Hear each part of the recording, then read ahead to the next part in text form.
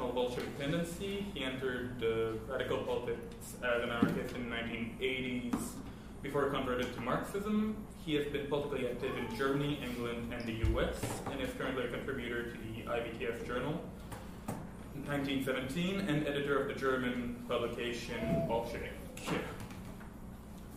Um, Alex Khasnabish is a professor of sociology and anthropology at Mount St. University here in Halifax. His work focuses on questions relating to radical imagination, social movements, uh, and radical social change. Uh, he has had particular interest in anarchism, autonomous Marxism, in his no, yeah, in his work on politics.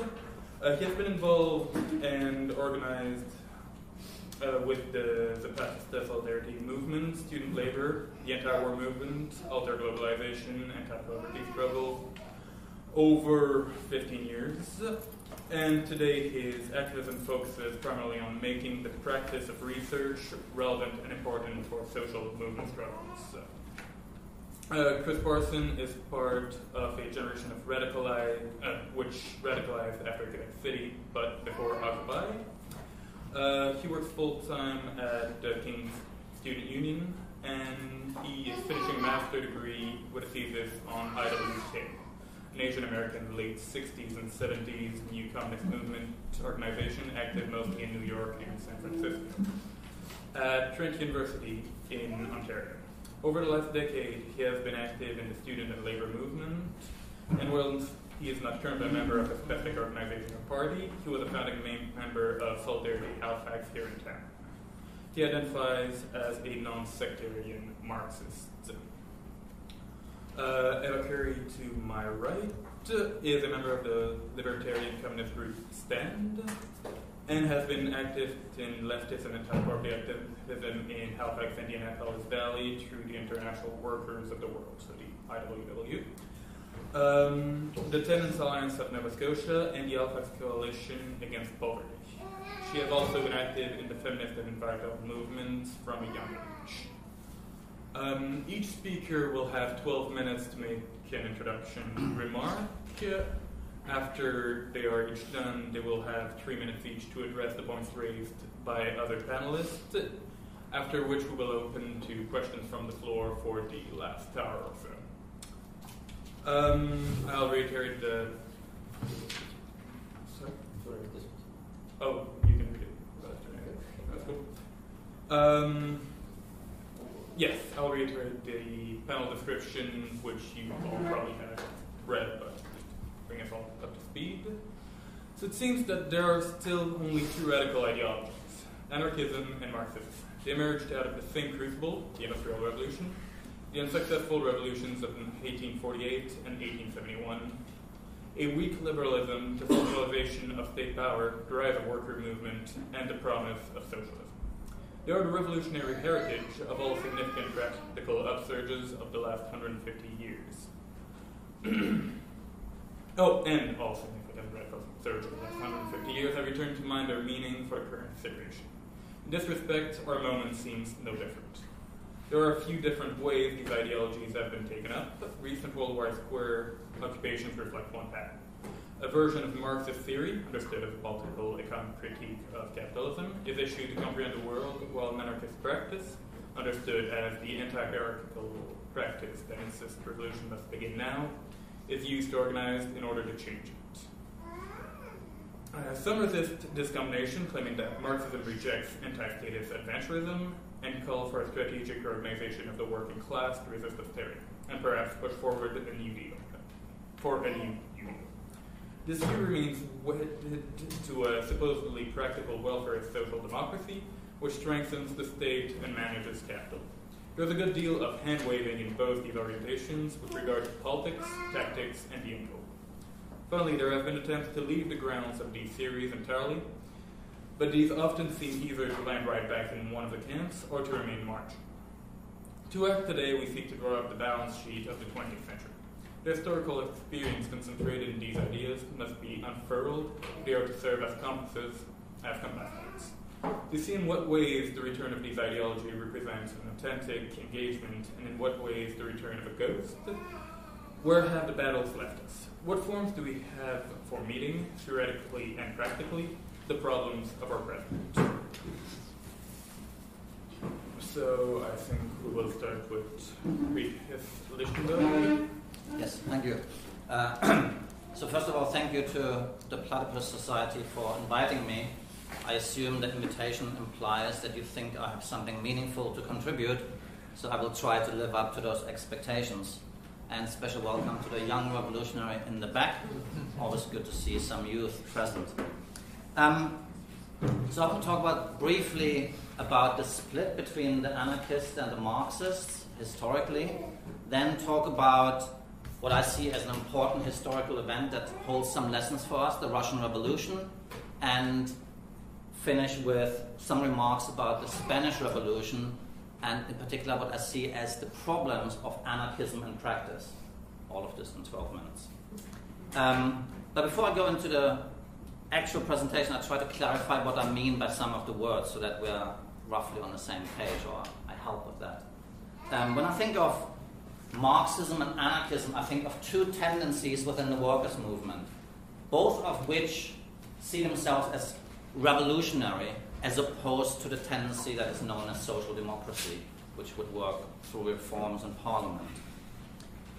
When I think of Marxism, I think this word is interchangeable with Leninism or Trotskyism. I do not associate with it things like Maoism or Stalinism. When I think of anarchism, I think of anarchism in its best representation, in my view, as a former anarchist, um, as exemplified by people like Bakunin, Kropotkin, or anarcho-syndicalism. And I think there are some commonalities between the two tendencies. I just want to highlight three of them. I think Marxism and anarchism agree on the need for the liberation of humanity through the destruction of capitalism. I also think that we agree on the fact that there's a class struggle going on between the exploiters and the exploited. And finally, I think that we agree on the need to destroy the existing oppressive capitalist state structure. What happens after that is where we diverge, I think, but I think we agree on the first part of the state question. So, the historical differences, and I am very aware that I'm very brief on this. The, the anarchists, led by Bakunin, a Russian revolutionary, affiliated to the what became known as the First International, an international workers' organization led by Marx and Engels. They were part of that. Um, but the conflict really began with the creation of the Alliance of Socialist Democracy, which was founded by Bakunin and his followers. And what it meant was that they maintained a somewhat secret organization within the First International and also started to publish articles um, that were critical of Marx. Um, so there was a lot of going back and forth over organizational matters. But as with every organizational dispute, at the heart of it is really politics. And the difference in politics between the Marxists and the anarchists really came to the fore at the 1872 Congress of the International in The Hague, in the Netherlands, when there was a big debate between the Bakunian faction and the Marx followers about the role of the state in the transformation towards socialism. The Marxists argued that there was a role for the state in the transformation towards socialism, while followers of Bakunin insisted that the state should be immediately replaced by self governing workplaces and communes. The Bakunin faction lost that debate, and um, as part of the organizational wrangling that was going on, the Bakunin followers were actually expelled from the First International for maintaining that secret organization that I had mentioned earlier. So that was the historical split in a nutshell. Um, a few years later, by 1880, Kropotkin, another Russian revolutionary, announced the need for the permanent revolt through word, gun, and dynamite, which really set off the anarchists, particularly in Russia, on the course of anarchist terrorism, which really removed the anarchists from the masses and they isolated themselves very much, in my view, through these practices. The event that really uh, is key, I think, to understanding revolution and what, in my view, still holds a lesson is the Russian Revolution, which happened, the October Revolution in 1917. Now, the second international, another international body that followed, collapsed basically in 1914 at the outbreak of the First World War because the different sections of the international ended up supporting their own government in their war efforts. So rather than being internationalists, they sided with their own national governments, which Lenin, the Russian revolutionary who led the Bolsheviks, identified as a complete disaster and betrayal of the spirit of socialism and internationalism. And his main learning from that collapse of the Second International was that he propagated the need for the revolutionaries to set up a separate organization from the reformists. He said we need to have our own organization with our own aims, and therefore he advocated the need for a vanguard party, you could say. So he was the theoretical and practical leader of this concept, which I think is still valid today. So the Bolsheviks, the Russian um, organization that followed Lenin, they built a party of this type. They built a party that was democratic centralist, which meant that there was free discussion within the organization, a democratic debate, and there was a vote taken. But once that decision had been made, the decision was binding on all the members to carry out that decision, whether they originally agreed with the direction or not. The need for it was there because they needed to get something done. They needed to get a social revolution accomplished. And they needed a disciplined organization that was ready in order to carry out that task. So, over time, the Bolsheviks managed to attract um, the best elements of Russian society, workers and peasants, to their program. Their program reflected the immediate needs of the peasants and focused on the revolutionary potential of the working class. And I think most importantly, the Bolsheviks distinguished themselves from other tendencies because they actually told the masses the truth. Whether that was popular at the time or not, they would not waver, they would not seek the line of least resistance. They would tell it as it is. And that allowed them over time for the workers to gain confidence in them because they were the ones who told them the truth about the Tsar and, the, and bourgeois democracy and the war that was going on. So they gained the support of the workers, as was reflected in having the majorities in the Soviets in Moscow and Petrograd, the Soviets being workers' assemblies or workers' councils, where workers and soldiers would meet and discuss how to proceed. That was even before the October Revolution. So they gained the majority there and really had the backing of the working class, which was, by the way, a very small section within the overall Russian society.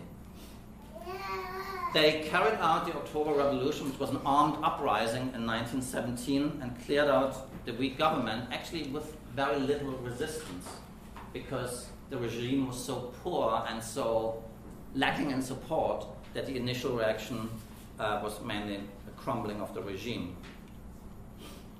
So the difference, of course, with anarchists is that anarchists will say it is bad to set up the state as the Soviets did, and that leads to renewed oppression. But I think that the state exists as long as class divisions exist, as long as people are divided into different classes in society. So I think you fundamentally have initially the choice of either having a bourgeois state, the kind of state we have in Canada today, or in the US, or in Germany, which is a state that serves the interest of the bourgeoisie, the wealthy, the rich and powerful. Or you can establish through a revolution a state that is what I call a worker state that is built on a different premise and that seeks to advance the interests of the workers and protects the new society from counterattacks by the old ruling class. Now, I am a communist, and as such, I would like to see a state when there is no state. But that can only happen when the class divisions have been eliminated, when generalized want is eliminated. And in order to get there, we need a substantial development of the means of production. So it's not a, a moral question or what would be nicer to have, but it is one that is grounded in economic realities, I believe. How much time do I have left? We've got two minutes left. Two minutes left. Okay. So in two minutes, the Spanish Revolution. Um, in 1936, a Popular Front government was elected in Spain. This scared the shit out of the bourgeoisie and the landowners, and General Franco launched a coup. He, try, he tried to seize power in order to protect the interests of the wealthy. The workers responded and seized the barracks, often in heroic battles where unarmed workers would take over barracks of the army and arm themselves in order to defend the, what was a developing social revolution.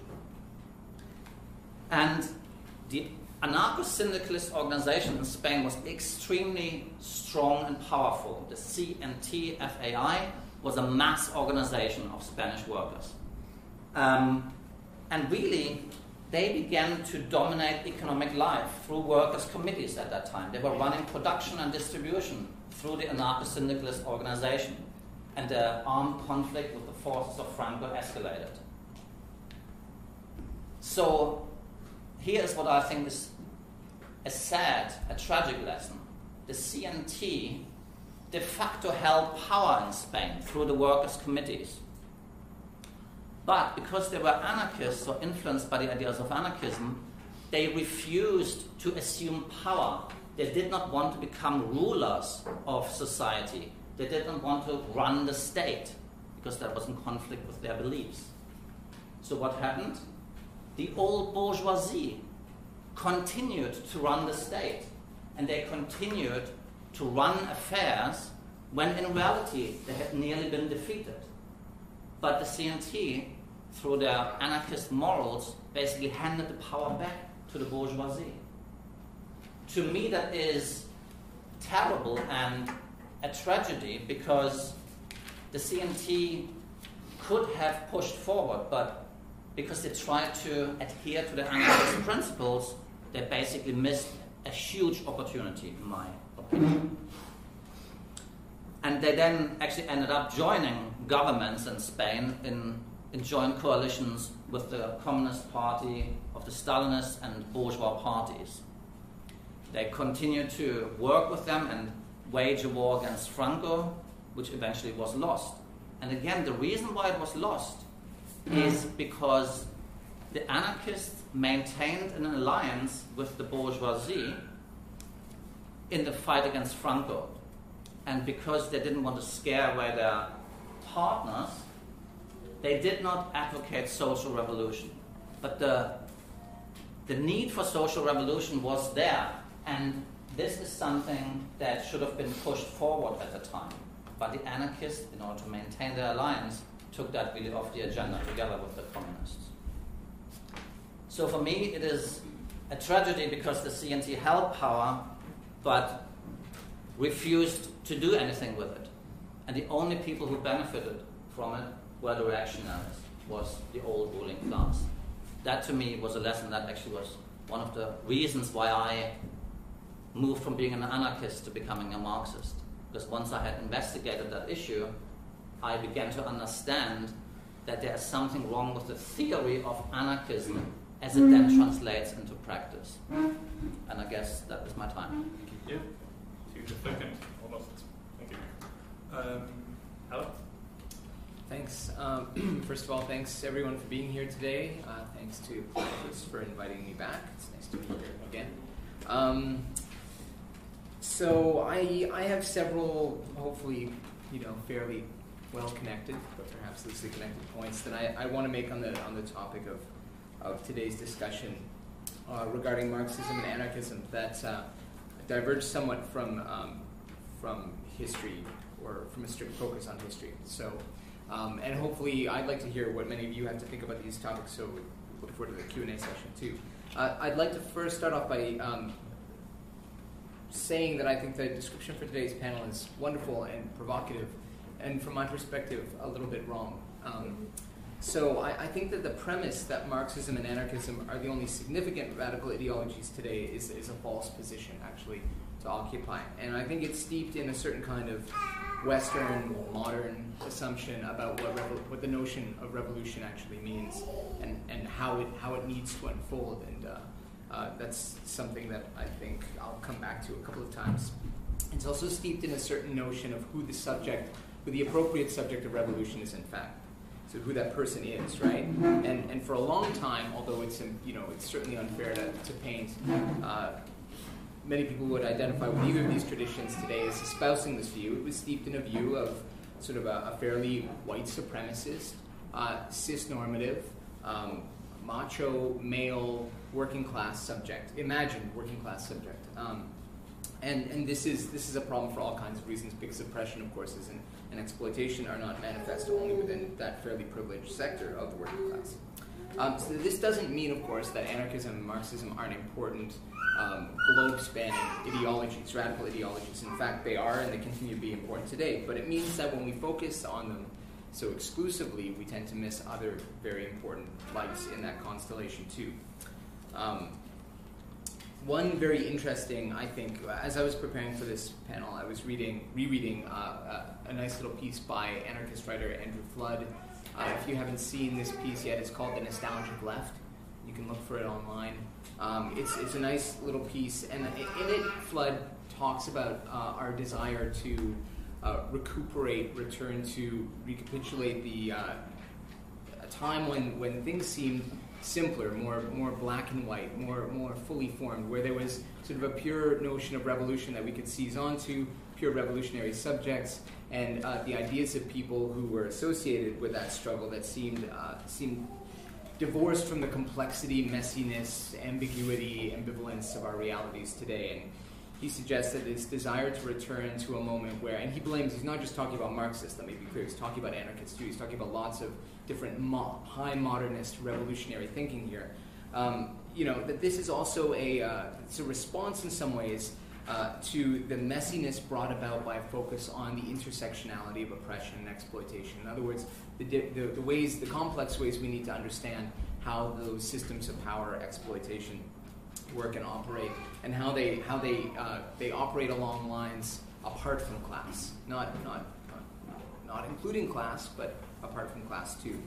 Um, and I, I, think this is uh, I've noticed this nostalgia for for sort of a, a modern left, uh, a, a high modern left, particularly recently in the wake of Occupy, in the wake of the anti-globalization movement, in the wake of the Arab Spring, where there's uh, an impatience on the part of a lot of people, I think understandably, in, in the face of what they see as failures of those different struggles to actually seize power or to, to make that revolutionary change, to return to something that seems to be able to wield the force necessary to, to achieve those ends. And I, I'm sympathetic to that. Uh, I certainly, you know, I think for many of us who observe these situations or involved in them, we feel that way at times. That that kind of political efficacy resides in those in those powerful, dominating, um, you know, high modern institutions like the party, like the state, and the ideologies that accompany them. Uh, I, you know, I'd like to problematize that. That's what I'm going to going forward. I think you know a return to this, a desire to return to great moments of history, and the, particularly the great men and their great ideologies that are associated with those moments, whether it's the you know any particularly rev, any particular revolutionary struggle or the revolutionary icons we all know well, is understandable. But again, it's it's it's largely futile, and uh, and I think they're important. It obscures important paths that lead us beyond that. Um, again, I would come back to this question: What do we mean? How do we understand? How do we conceptualize? How we practice this thing we call revolution? What does that really? What does that really tangibly mean in in, in the realities of people in their day to day existence? Does it mean, you know, in the classic political science uh, definition of a term, uh, a rapid total change of a society's political and economic structures. Well, what does that mean practically? How does that, you know, and, and how do we envision that? How is that practiced? Um, how can that be realized? So um, that doesn't take us away, of course, from, I think, what is the, the absolute centrality of Marxism uh, as a form of analysis that has ruthlessly and, uh, and, and with very clear vision, unpacked capitalism as a form of exploitation. Uh, and, and from my perspective, I don't think that there's a better set of ideas and theories, uh, forms of analysis around capitalism that is better in terms of understanding. There's no question about that. Um, as somebody who would identify eh, as a libertarian socialist or as, um, uh, as some variety of anarchist, perhaps, um, I would also say that I think the lessons taught by anarchism in terms of its commitment to grassroots organizing, to radical democracy, and uh, the values of letting a revolutionary process be led by the people themselves rather than by uh, elites who govern them is as a set of insights that are also very central. But I, I, I wouldn't reduce the, that, this kind of debate to either of those camps either because I think we've seen in the last 30 years or so a much more interesting turn with some commentators, uh, folks like Richard Day, for instance, have called a more anarchistic ethic in many uh, social movements around the world. But that's you know my sort of area of focus is the uh, the Anglo North Atlantic, so I'm going to stay fairly well ensconced there. Uh, so this rise of this anarchistic ethic, which is not formally anarchist, it doesn't espouse any particular variety of anarchist uh, thinking. It doesn't lay claim to the great men and their great ideas, but it's interested in this idea of horizontality, egalitarian practice, radical democracy, uh, binding into it this radical critique of capitalism as well, that is clearly borrowed from uh, or, or, directly beholden to uh, a Marxist ideology, a Marxist form of analysis. But this, the rise of this anarchistic ethic, uh, you know, to, to, to sort of do terrible injustice to a very diverse history of struggles here, uh, emerges in the 70s and 80s out of a frustration, out of a tangible, palpable frustration on the part of many activists and would be revolutionaries with the failures of those very forms of organization the, the party, the state, the, the call to discipline, the call to solidarity that is often a call to the erasure of difference the marginalization of oppressed voices, the marginalization of, of non-privileged positions within that discourse. And so it's, it's, it's not just an ideological move, is what I'm saying. Many of these activists and, uh, and revolutionaries in the 70s and 80s turn to this because they see in it a greater reflection of their own lived existence and their desire to build complex relations of solidarity with other people in struggle who are who not quantifiable or, or, or uh, can't categorize them within the simple uh, orbit of the so-called working class, right? So, um, so where does this take us, right? So, well, it takes us through, you know, through the, the, the, long waves of struggle we see through the 80s, the rise of all kinds of anti-authoritarian movements, whether that's in anti-racist organizing or in uh, emerging attempts to build settler indigenous solidarity or in, uh, in, in, in, the, the often uh, terribly ignored histories of the incredible contributions that feminism, particularly radical and socialist feminism, has made to the fabric of social justice struggle uh, around the world, particularly in the global north, but elsewhere as well. Um, so out of this, you know, then we have uh, the rise of the anti-globalization movement, and again, you know, the, the understandable frustrations expressed in a high modernist language with the inability of that movement to seize on its tactical uh, successes in some moments it's the, the groundswell support and do something with it. We hear in it the, uh, the admonishments of things like the World Social Forum, and it's a process that I'm critical of, so I'm not trying to hold up the WSF as some kind of great paragon of where we need to go, but you know, the demand that the WSF become more like a party, more like an organization that can issue a set of demands and goals and principles towards which struggle needs to be directed. And we hear it in the voices of, uh, of self-avowed radical leftists here in Canada and the States elsewhere in the wake of Occupy and other uh, anti-austerity struggles that seek, you know, that try to try to uh, reduce this complex set of desires for liberation to a 10-point plan on the part of people practicing it. Uh, to, to be specific, to be clear, to have goals, to have leaders, to be understandable, to be renderable in the idiom of the time, and to speak the language of power. Uh, but isn't that isn't that part of the problem?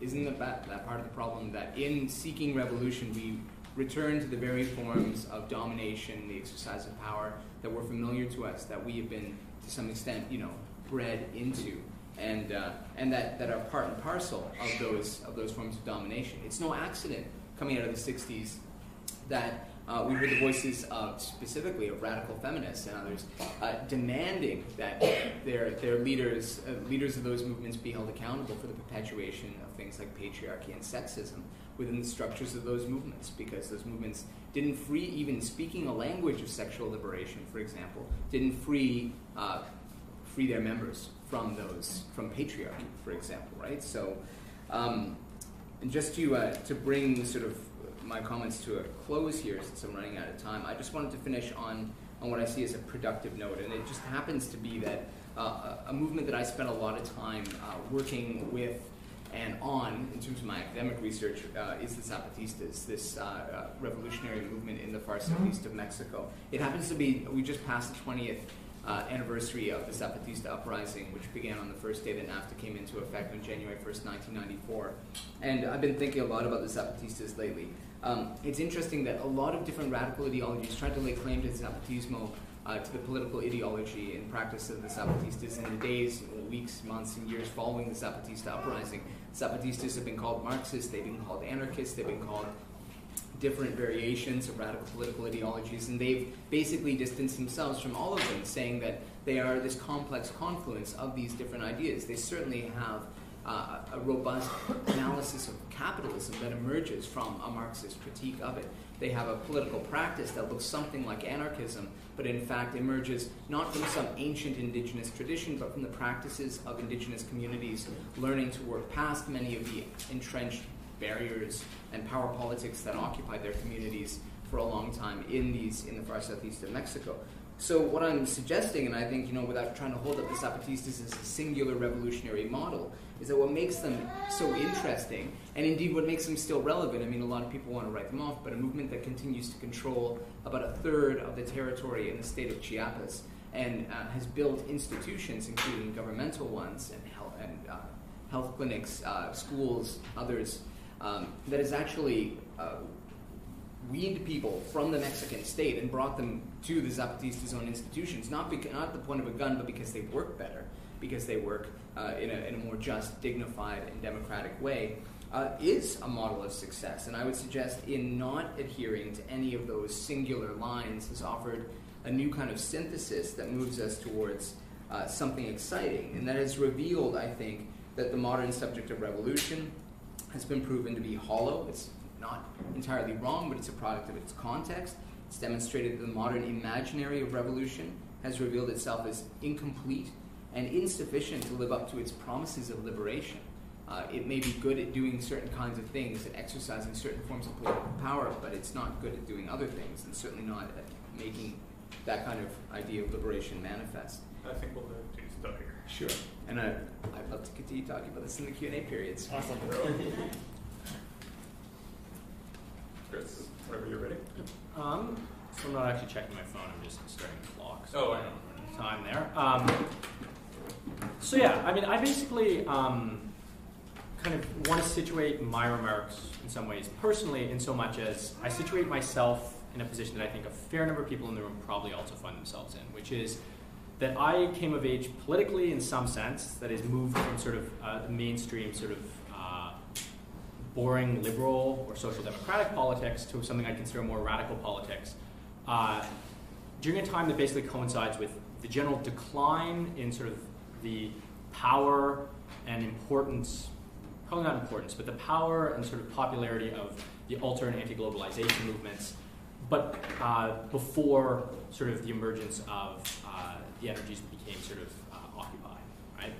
And so one of the reasons why I think it's important to situate uh, what I want to say in that context is because in some ways it's I am from a generation that oftentimes uh, I think Marxism either was not an option or the version of Marxism that we received uh, and that we experienced was certainly one that I think um, had internalized many of the at least organizational structures of anarchism, right? Which is to say that uh, even before Occupy, I think that if uh, you know you were a 20-something involved in organizing in you know, 2008, um, particularly if you happen to be involved, I, I, think really either in the community or in sort of campus organizing, the default mode of organization in places like uh, public interest research groups, uh, in community organizations was one that at least talked about sort of a horizontalist mode of uh, organizing and which primarily did not imagine the possibility of seizing state power. So in some ways, anarchism is the default for people, I think, that are at least politically of my generation. Um, and the result of that, and the result, I think, of those sets of experiences of organizing within social movements and organizing within these, is that I uh, want to, like, that I definitely have the very desires that uh, I think Alex warns you against, right? Is that I have the high modernist desire for the ability to seize state power, because I think we've seen time and time again that um, the alternatives over the last decade have certainly, uh, at least in the global north, at least in Canada, at least in the context I've organized in, have been counterproductive not just to failing to get us closer to revolution, but I think have also done a very poor job of trying to generate reforms, right? So if the question for, I think, most Marxists now, I think many Marxists are coming to the realization what we need is not to pit reforms against revolutions, but I think many of us are turning to someone like Luxemburg who, can tell, who wants to tell us and wants to suggest that reforms are a way towards revolution, that I think that in many ways the sort of anarchism that I've uh, experienced and come in contact with and sort of has been one that says that uh, we want neither reforms nor revolution, we want something else, um, and that that something else, uh, I, I think, doesn't get us closer to sort of the widespread spread liberation sort of at a massive scale. Um, that said, uh, rather than try to like either explain Marxism or sort of overall denounce anarchism, I don't really want to do that, nor do I want to try to sort of tally up the scorecard of the 20th century, um, but rather, I think, talk about what's happened since the close of the 20th century and to sort of try to sketch out some broad themes that I think might be useful for us to think about the question of the relationship between anarchism and Marxism for the next like hour or so. Um, sort because I think that uh, I think all of us probably agree on the point that I think the, probably the more fruitful thing that's going to come out of this is uh, engaging in a discussion with everyone in the room. Um, so I think the sort of First thing uh, I want to basically claim or argue is that uh, at least my generation, and I don't want to, and I think that that is itself sort of a problematic statement. I think there's uh, a lot of different people and a lot of different experiences within people that are broadly my age or that I've broadly been organizing with or that have been organizing um, at the same time as me.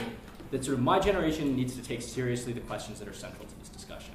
That is to say that uh, the points where Marxism and anarchism diverge are points that need to be interrogated, um, and that we haven't necessarily done a good job of that, and that we often uh, call ourselves Marxists when what we actually are doing is organizing in ways which are, uh, at least in form, uh, anarchistic, or sometimes we refer to ourselves as anarchists when really the impulse that we have is to uh, work towards something that vaguely represents uh, sort of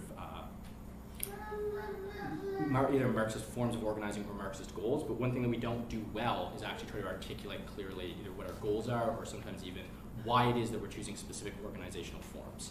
I think the other one of the other things that I think is important here is that um, in the last 15 years, there's been we've I think a wild swings back and forth on what the role of what the existence of the state is. Right, like in the early 2000s, particularly uh, in the work surrounding the alter globalization movement and the emergence uh, in the West of sort of an interest in the English speaking world, an interest in sort of um, autonomous Marxists, I'm thinking particularly of uh, Hardt and Negri and people that sort of were writing around that. Um, there's this idea that in the early 2000s, with the globalization movement, that the state had become uh, irrelevant, or at least individual state sovereignty had become irrelevant. And I think that uh, most people now would say that that was an overstatement, um, and that the reality is is that we have to grapple with the question of the state, whether we want to, and that we have to grapple with the question of the state regardless of when we want to do away with the state. Because I think I would agree with everyone that the ideal goal here is the eventual, eventually eliminating the state. And in the short term, certainly, I think we all agree that eliminating sort of the bourgeois, um, liberal democratic state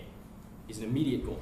Um, question is what to replace it with and when. Um, so the question, you know, one of the things we have to think about is what do we do with the state? How do we imagine the state? How do we interact with the state? Do we challenge the state? What do we ask of the state? Do we ask anything of it? Um, how do we? I think there's another question, which is how do we organize ourselves, organize ourselves politically in the here and now, right? Is do we emphasize uh, a, a, politics that uh, is purely um, or places a really large emphasis on uh, being prefigurative, that is saying that our, our current politics need to reflect the world we want to create, or do we recognize, as I think I do, the idea that um, like I don't want to live in a world where I have to be deceptive. I think this is one example I used earlier today but the reality is that if I want to organize my workplace, plug your ears, my boss. Um, if I want to organize uh, my workplace, um, that I would need to be deceptive in that case. I couldn't tell my boss that. And I think that like we so we recognize that our politics will never be purely prefigurative because we have to make compromises. So the question is, what compromises are really are we willing to make in that sense uh, in exchange for sort of effective political work? Um, and what, I think the other question is really is like also what is the actual target of our political work? I think i- are we aiming at transforming the broad mass social movements around us? Are we aiming at targeting the state? Are we aiming at targeting um, some vague object we might call civil society? Or the target of our political work ourselves, right? Some sort of personal transformation, which I think it, it is for some uh, activists, right?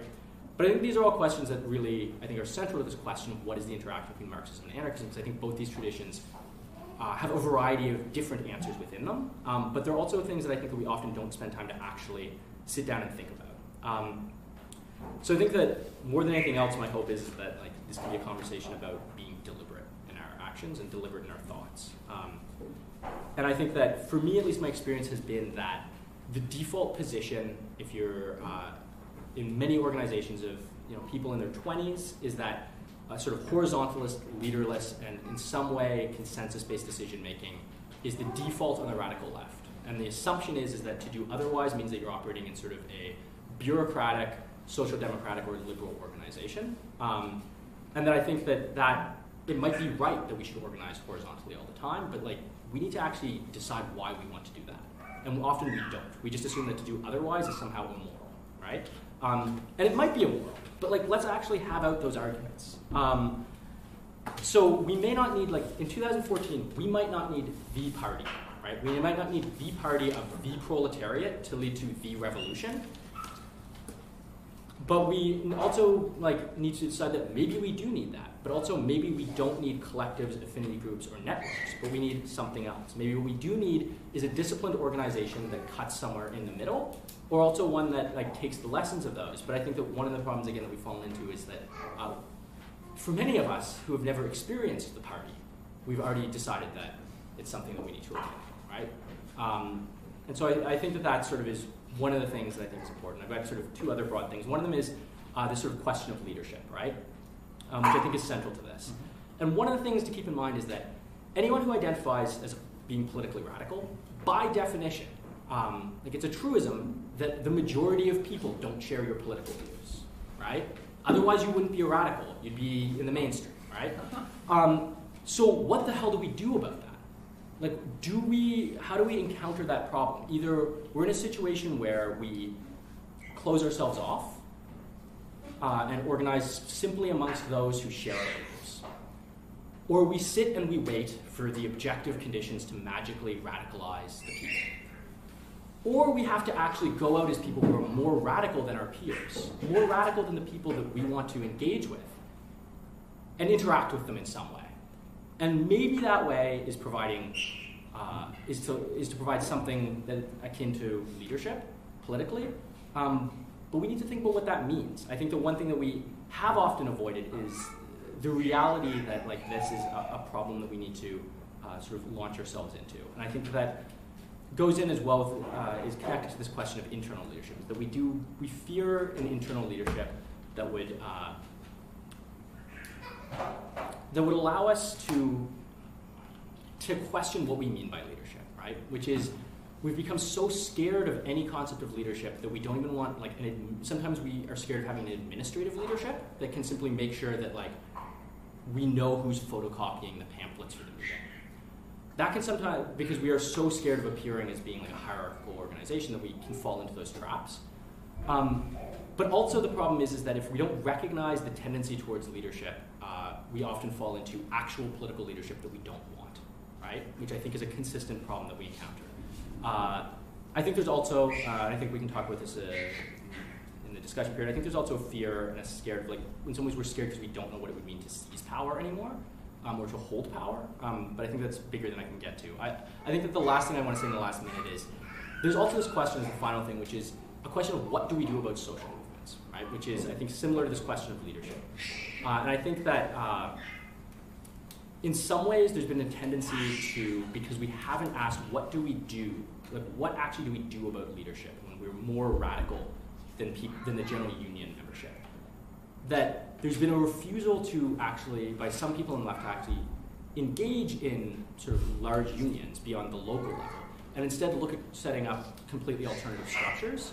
For me, the problem with that lies in the idea that like I can't comprehend revolution without the masses, and I, in some ways, the, you know, I still hold out perhaps an archaic, perhaps high modern belief that unions can be transformed to actually uh, serve as a as sort of a serve as a vehicle for the will of like sort of the working class, and, and, not the working class that was conceived of in 1917, but a working class that we need to reconceive of in 2014. So I think that asking how we deal with mainstream social movements that are themselves liberal or social democratic and uh, as radicals, how do we deal with things like the student movement? How do we deal with um, the labor movement without either abandoning them nor simply preaching at them, um, nor trying to take them over uh, and bend them to our will, but like how do we find something else? And I think that the answer to that in some ways lies in trying to think through the problem of like the problems that I think the question of like the relationship between anarchism and Marxism lay out for us. So I think I'll leave it there, but I think that there's probably a lot for us to say in that question period.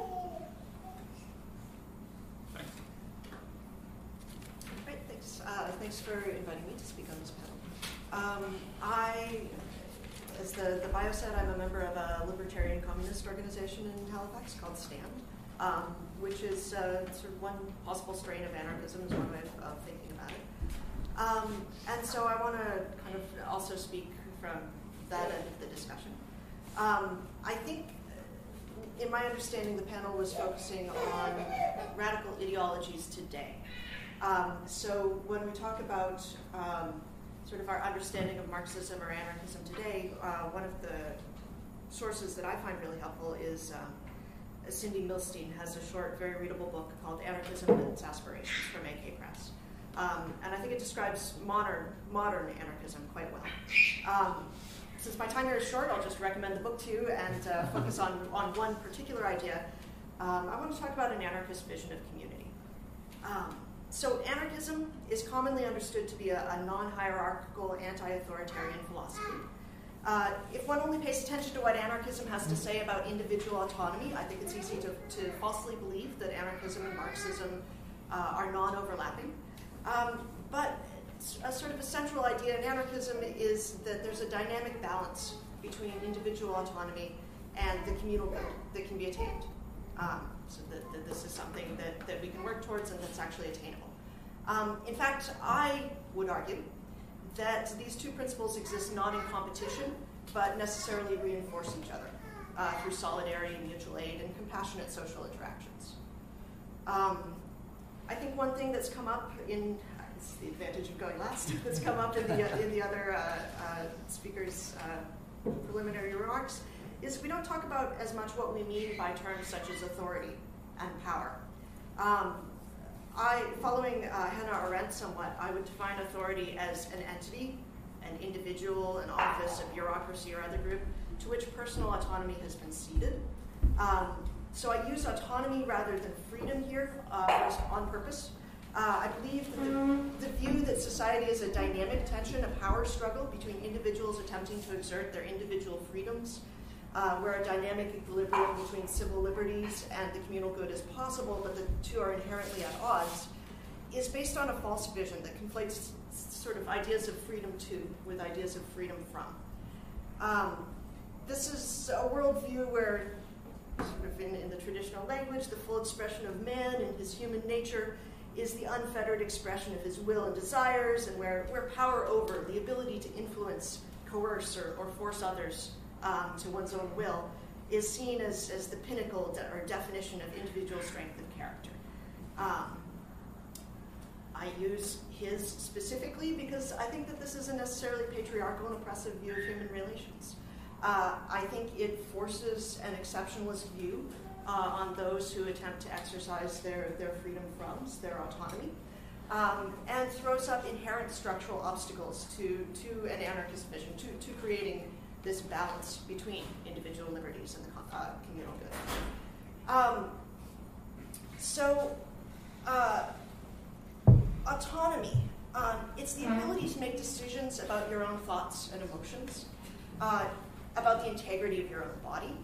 Uh, it entails freedom from, so it entails freedom from violence, coercion, Um, it involves some of our freedom twos, uh, freedom to individual expression that doesn't harm others, uh, rights to speech, education, healthcare, um, a safe place to live, uh, nutrition. Um, but autonomy is, is not synonymous with all of the freedom twos. It's, autonomy is um, very distinct, for, or its, its antithesis is imposing one's will on others. If you have a respect for individual autonomy and you respect that as a concept, then necessarily the idea of imposing your will on others is anathema. Um, so, uh, and that's through through violence or coercion, physical or social pressure. Um, perhaps uh, one of the strongest recent examples of how respect for of individual autonomy and, um, and concern for the common good can actually reinforce and support each other comes from the feminist movement um, and comes from ideas around models of enthusiastic consent for sexual and romantic relationships. Right? So this is the idea that um, our personal relationships, where we're, we're really personally coming into this this I or dealing grappling with the idea of you know what I want, what I want for me, what I want from you, um, versus you know what's good for other people. Um, this is something that, that you have to grapple, grapple with very intimately. Um, and so the, the, the, feminist notion of, of enthusiastic consent uh, says that actually, you know, if I am respecting your autonomy um, as an individual, then not only is that, you know, an ethical imperative, but it makes our relationship together stronger and better and more fulfilling and uh, more, more supportive for, for myself as well. Um, and so that's one sort of small scale example of where we can see that the idea of respecting individual autonomy and what's best for the communal good um, are actually like not even are they competing or at odds? You know not even can we attain some sort of careful balance between them. But in fact they, they really intimately reinforce each other. Um, i would say uh, also uh, that so humans are a social animal, and most of us yearn for some sort of community. Um, kind of historically, like in, in the popular sort of conception, what we think of as anarchism, we think of, people are drawn to anarchism um, first because they're interested in, in this anti-authoritarian idea, um, in the idea of, of maintaining their individual autonomy. They're interested in sort of that side of the equation of anarchism. Um, and you know, this may be after many negative experiences with communities that are based on exclusion and hierarchical structures.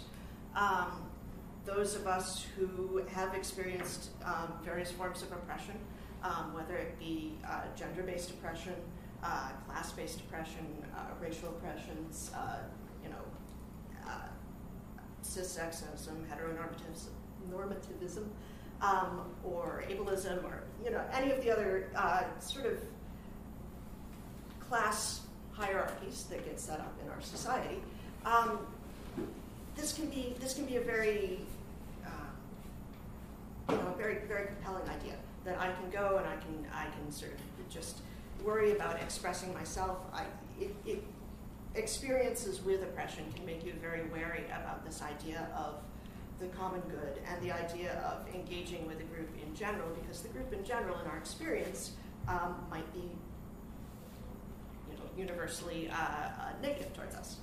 Um, so we may share this yearning for community that's expressed in like nostalgic paeans to mid 20th century American small town life.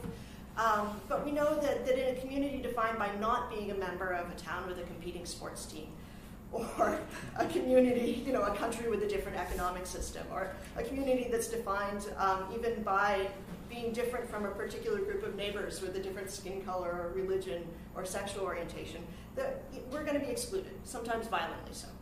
Um, and so we feel that lack of community sometimes even the worse for in a world where, where it seems like that idea of community is, is so present, yet so unattainable for, for those of us who are excluded.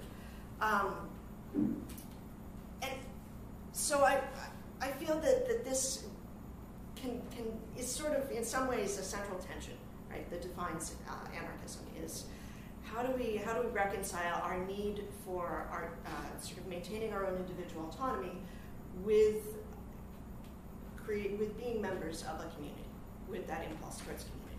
Um, an anarchist vision of community, unlike the ones that many of us grew up with, um, is built on inclusion rather than exclusion. Right? Uh, trust in some form underlies all human social organizations. Uh, so, in an anarchist vision of community, um, ideally trust is extended to everyone unless they prove themselves uh, to be untrustworthy. Um, and as opposed to, you know, like for myself, I moved around a lot during my life. And so one of the things that I've encountered a lot is there's a tendency for people to be very wary of outsiders. And so most of our communities are built on this idea that trust has to be earned, that, that you know, instinctively we don't trust the outsider. Um, and that, that gives us communities that are built on exclusion versus communities that are built on inclusion. Um, in an anarchist vision of community, I would say not only is individual autonomy respected, um, but care for others is encouraged, supported, and prioritized. So, an anarchist vision of community entails uh, loving interactions between romantic partners, as I mentioned, friends, neighbors, and acquaintances, and strangers.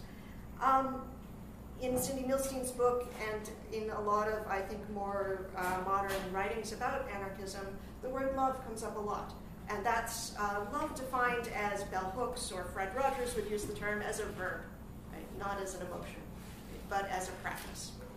Um, anarchism is a model for ordering social relations. Um, to practice it well and fully, we can't focus solely on the relations between individuals. I've been talking a lot about that as examples because I come from a feminist background where we talk about the personal as political. Um, but we can't ignore our current model of social relations that imposes class systems, uh, hierarchies, and resultant oppressions on all aspects of our lives. So I'd say that a Marxist class based analysis of economic structures um, is fundamental to being having a, a, solid sort of anarchist practice and anarchist understanding of the world. Um, as is um, a feminist class based analysis of patriarchal social and institutional structures um, a class-based analysis of uh, you know racial and um, um, colonial uh, interactions, hierarchies, and structures. But anarchism is also an ethic. It's an ethic that says that we respect our individual autonomy. We respect. I respect my individual autonomy. I respect your individual autonomy. I, I respect that principle of individual autonomy. Um, and the, the working for the common good grows out of that respect. Um, so anarchism is far more than a collection of tools, as, as the introduction to this uh, uh, panel kind of posits. Um, it's this ethic. Um, it's, it's a model for ordering social relations. Um, anarchists do focus on the means to achieve revolution, not just on the end result. Um, so, but this is partly this is out of uh, an idea about what's effective for organizing, um, but partly it's out of a conviction uh, born by much experience that our means fundamentally and inextricably shape our ends. Um, so, if the end that we seek is a society whose fundamental ethic and social relations are based on this uh, mutual respect vision, um, then we have to work towards that end rather than running at a tangent or in the opposite direction from it. Um, that said, anarchist structure can also be quite strategically useful um, for even movements without an explicitly anarchist goal. Um, there's so the Occupy movement has come up uh, a number of times. Um, it's really interesting to, to sort of follow what the various groups that were involved in Occupy Wall Street have been doing um, sort of in the intervening time since uh, sort of the encampments got broken up. Um, so I, for example, I followed the main Occupy Wall Street blog, and they have these uh, Theory Thursdays. Um, so every Thursday they get somebody to post a, uh, an article about sort of uh, yeah, modern radical theory. Um, so a recent one uh, last week or the week before uh, was talking, for example, about um, secessionist versus mosaic models for radical organizing. Um, the idea that going off in a commune uh, with people who you agree with politically um, can be very individually, you know, personally fulfilling, but it really isolates you from the rest of society and, and sets up structural obstacles to actually um, working to create change. Um, the, the article um, contrasts that not with vanguard parties, but with a mosaic or network model of organizing, where we each um, are involved in some sort of activity that meets needs of people in our communities, our neighbors, in our towns where we live, um, meets immediate needs, but organizes uh, in a model that is going to empower people um, to help them develop their, their sense for their own individual autonomy and their ability to, to uh, maintain that in the face of uh, structural uh, oppression, structural hierarchies, structural coercions, and violence, uh, physical violence. Um, and we may be focusing on one small piece of creating uh, the new society that we want to live in, but we can be networked with other people who are working on those other small pieces. And in building those networks, we are actually creating um, the structure of our new society that we want to see after our revolution. Revolution, very broadly defined. Um, so that's a model that is sort of an ethical imperative, but it's also a model that, as an organizing model, is strong. It's the model that has kept the Zapatistas, for example, uh, going uh, for 20 years. Um, for many um, different small scale uh, groups in different parts of like the United States where I'm from, the long term uh, efforts that have made a, a, difference in people's daily lives that have been going on for years and years and years. This is the sort of organizing model that, that sustains them. Um, okay, I think we'll have to end on that note. Uh, so, in the same order, we'll have three minutes to address points raised by your Yes. so, I'm going to speak to the points in the area of power, forms of organizing, Occupy, I think several people commented on it. So I'll take Occupy as a common phenomenon um, that swept North America, which really was quite amazing. Um, it was a powerful, popular outburst against the excesses of capitalist rule. And it was very refreshing, and it bypassed the traditional left organizations to a large extent, I would say, which partly is a reflection of the failure of the traditional left organizations, I have to add, being a member of one of them. but that's reality. So I acknowledge that. And what arose was the sort of the horizontal organizing forms, which seemed democratic and attractive to many people, I think. And one thing I encountered in my involvement in Occupy in Connecticut and uh, upstate New York was the consensus model of decision making, which, to be quite frank, I couldn't get my head around at the beginning. Um, but I tried to look, watch, and learn. And what I learned, and I'm not trying to be sarcastic about it, what I learned was that it didn't work. And I think that's what everybody learned over time. Because while the original idea was that everybody had to agree on what we're going to do, I believe that in many places it was actually very rapidly modified to something like a more 80 20 or 90 10 consensus model. Because in practice, this great idea of consensus turned out to be unworkable. I think that's an established fact. That was one of the actual experiences of Occupy, that this great idea of consensus, even amongst people who seemingly agree on so many things, didn't work. I think that's an important lesson. And I think it is true that leaders are sometimes needed.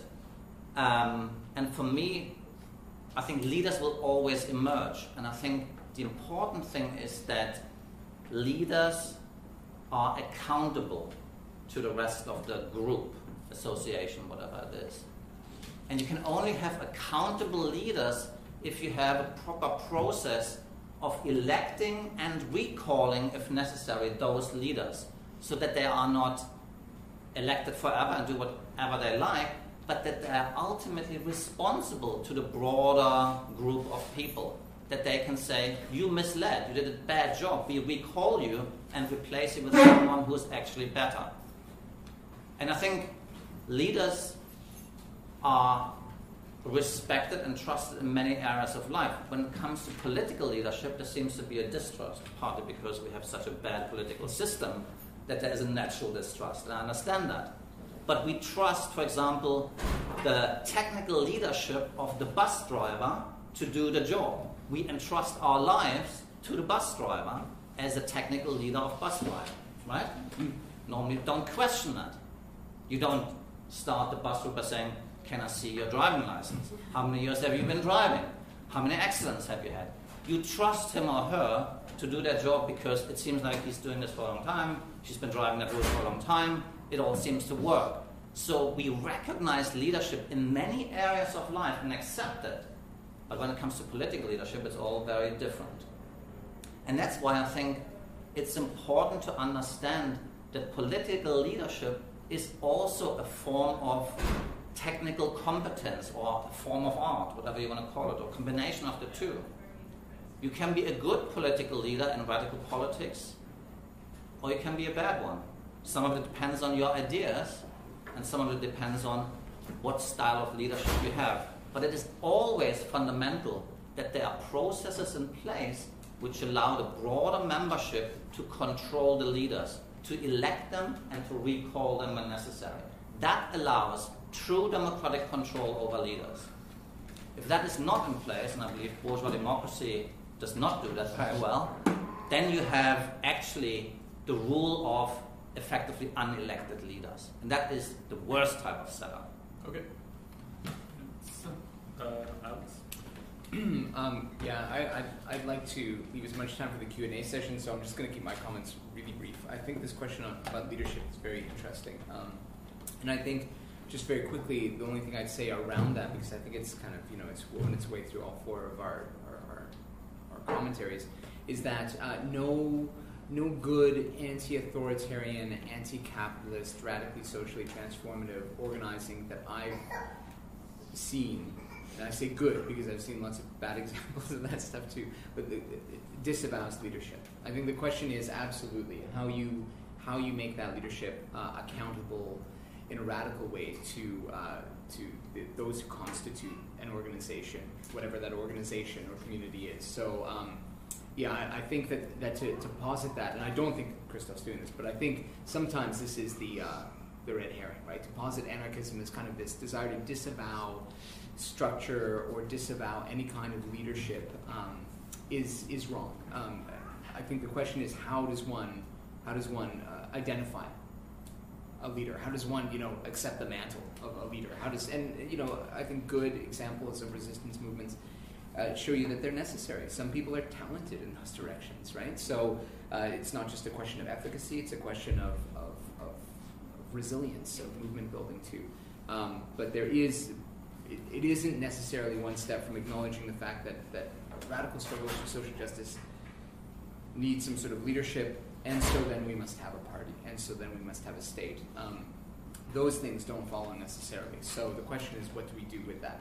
What do we do with that that that need that you know to to organize ourselves.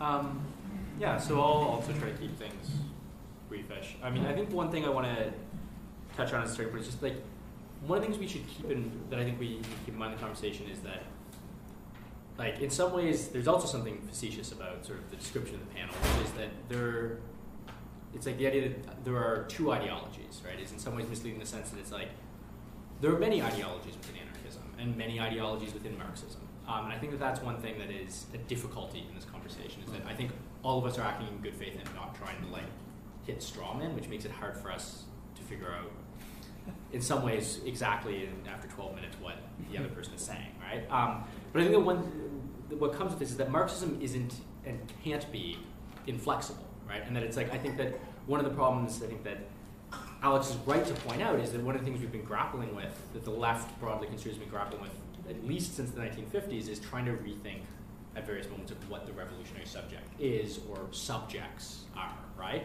And I think that, I mean, you know, it, admittedly, we haven't done a great job of, fi- of figuring that out collectively, but I think that there is the idea that, you know, it is, Marxism is not, at least in my mind, simply a lineage that goes from, you know, Marx to Lenin to Trotsky to now uh, un, untouched, right? It's like that there is it is something that is itself historically situated and that needs to continue to be adaptable. And I think in some ways that one of the major questions is the question of like what do we mean by revolution? Because I think that increasingly in the modern world, that revolution does not look like the revolution in Russia. And I think that that was actually is the major problem of Western Marxism the one example of revolution we do have that we struggle with is one that happened outside of the conditions under which most of us live, which is we don't have a peasantry, we don't have the collapse war, but at the same time, there are lessons to be learned there, and I think that uh, Marxism has worked on, we, people working within a Marxist framework have worked on trying to rethink what we mean by revolution and by revolutionary subject. Um, I think that the other thing, uh, I'll skip one of these and we can come back to it, but I think that the, I do want to touch on this question of leadership, which is just to reemphasize one of the things that I said I think is important is that when we talk about the question of leadership, it's not just leadership internal to our organizations or internal to our collectives or our groups. It's whether or not we're comfortable with the groups that we form collectively providing leadership outside of them, right? And that is something that I think that even groups that are comfortable um, appointing some sort of coordinating committee or some sort of uh, you know, logistics committee or some, some sort of leadership, that there's, we're still really uncomfortable with the idea that there comes a moment where we're going to encounter people outside of our groups that we may have to find ourselves in a position of leadership. And I don't mean position of telling them what to do, but a position of perhaps trying to draw people towards a more radical position, trying to draw people towards more radical action, trying to organize people at a moment of defense. I mean, I think that one of my most vivid memory of Occupy, which was something that for various political reasons I sort of dropped in and out of within Halifax. Um, and the real reason was I, I can get into the real reason some other time. But uh, when I was there with other people who were on the periphery of it attempting to defend the encampment, um, the question of defense becomes really difficult without a question of leadership. And the reality was is that what actually would have made defense of the camp better is if the people who were in that encampment told people like me to follow their leadership and do what they said instead of holding firm to this idea that like they were uncomfortable providing leadership to a mass of people who showed up who many of them were willing to probably get themselves arrested if someone said that that was the plan going forward so i think the question is, is like what do you do when you have a tight-knit group of people who live together for months on end and then encounter a mass social movement who are generally politically aligned with them but then they're unprepared to provide leadership to those people who are willing to follow it um, and I think that so that question is like when we talk about leadership, we're talking about two different but interrelated sets of problems. I want to get back to the uh, idea about consensus building and what is consensus building, what it means, what skills are needed. Um, but I also want to talk about these terms power, autonomy, authority, leadership. Um, and since we've been talking about that most recently, let me let me start with that. Um, and hopefully somebody can ask me about consensus building the question and answer period. Um, so Hannah Arendt defines power as she says power corresponds to the human ability not just to act but to act in concert. Power is never the property of an individual, it belongs to a group and remains in existence only so long as the group keeps together. When we say of somebody that he is in power, we actually refer to as being empowered by a certain number of people to act in their name. Um, so there's there's this idea of power um, in terms of sort of individual strength and character. Arendt uses the term strength for that. Um, when we talk about leadership, there's there's many different sort of ideas that, that can come in there. Um, there's people that, that we look to, that, that we as individuals trust, um, sort of social leaders, uh, people who influence others' opinions. And that's tied in with strength of character sometimes in, in some ways. Um, that's distinct from a person who has a particular job or responsibility, who we've put in a leadership position for that task because they have a particular skill or something like that. Um, that's also distinct for somebody who is in a position of authority. That is somebody who we take orders from, who we've ceded our own personal autonomy to, and when they tell us, go get arrested, we follow them.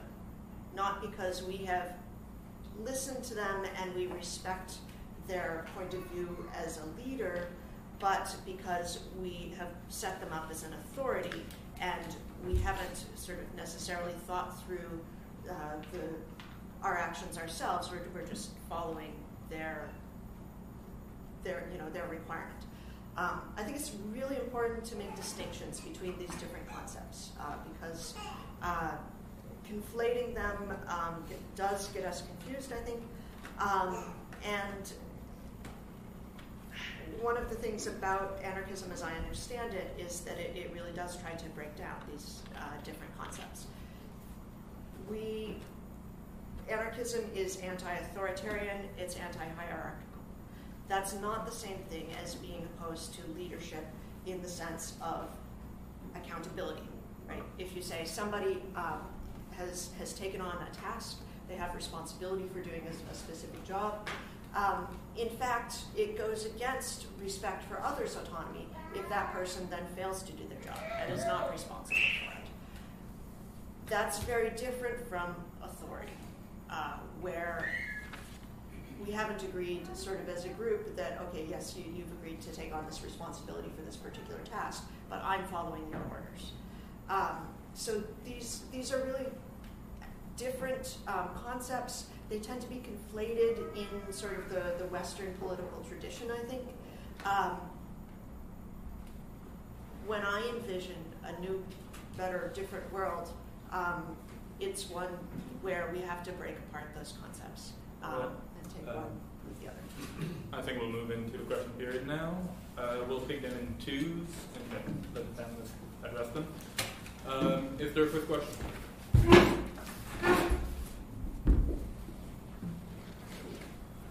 Glad we solved it. Yeah. We've averaged the divide. So, okay. I guess I'll get started. Um, Chris, the issue of leadership you've um, brought up and the fact that it doesn't seem ready to deal with uh, members or institutions, people outside of itself.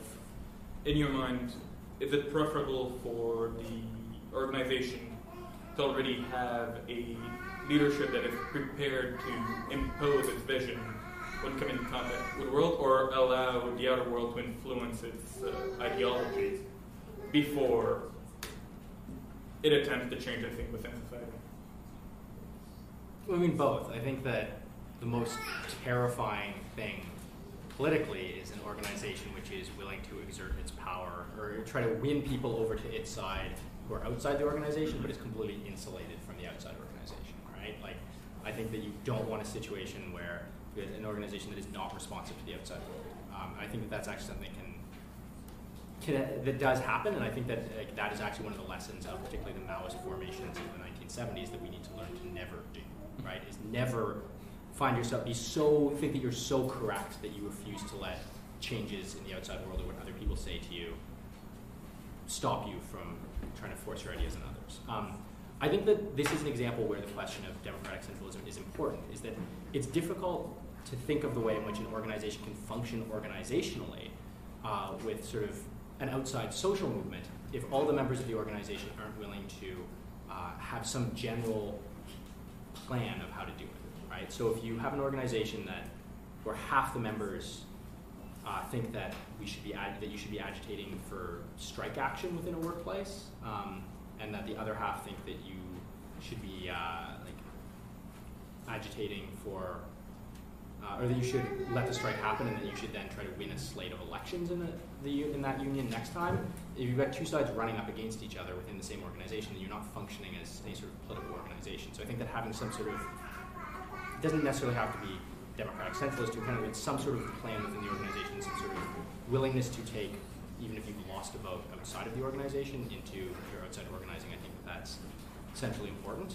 Um, so I think that if I understand your question right, I think that it's it's one where I think an organization. Ha- my answer is it's an organization has to both be responsive to what happens outside of it, but when you are taking ideas and tactics and strategies outside of the organization, that it has to be sort of clearly understand what it is that it's attempting to do and why it's attempting to do it. Um, but, but those decisions within the organization need to be made democratically. Yes. Um, I, was, I, I thought that the lesson you just occupied about consensus was was really interesting, um, in that it was very different. What I what I saw in that, and I hope you feed this, is the um, the problem the problem with centralization, with the idea that a central body had to become consensus on all these questions that were often ridiculous minutiae. Um, and I think the sort of this fetishization of uh, the centralization of decision making is actually the same one that we see um, manifesting very differently in um, sort of closed organizations that don't operate on consensus, um, looking to the, the recent collapse of the Socialist Workers' Party in Britain, where um, fetishization of a particular decision making process um, basically allowed some asshole to sexually assault a bunch of women and totally avoid accountability for it. Um, and I, I guess I wonder if there is, if this has less about consensus or about democratic centrism in either case than it does about um, fetishization of certain processes and the sort of um, this sort of need for forced unity where perhaps no unity exists. As in the case where, like, you know, half of your organization votes against supporting a strike, maybe you need to get that fuck out of that organization. And I just want to speak to that. You know, what do we do with unity in situations where that unity isn't actually there? Okay, so that will be the first uh, question. Um, Gabriel? So um, I've really appreciated this distinction between leadership and authority. I thought that was very, very well articulated.